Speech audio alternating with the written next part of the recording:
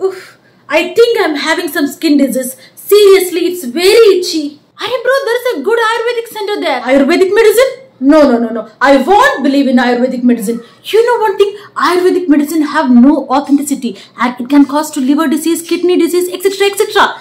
I don't want to take the chance. Are bro, it's a myth. The truth is that a clear guidance is established for quality control and standard of Ayurvedic medicine throughout the country. The Pharmacopoeia Laboratory of Indian Medicine's Central Council of Researchers in Ayurvedic Science have clearly given the protocol of testing Ayurvedic medicines. Moreover, the Rule 160 has been implemented in Drugs and Cosmetic Rule in 1945 to check the quality and standard of Ayurvedic medicine which ensures the establishment of drug testing in laboratories throughout the country. It is mandatory for the manufacturers of the Ayurvedic medicine to get licensed from these laboratories regarding quality and stability of their Ayurvedic products. And bro, it's always good to buy medicines from a registered medical practitioner and the registered brand. So, before believing a myth,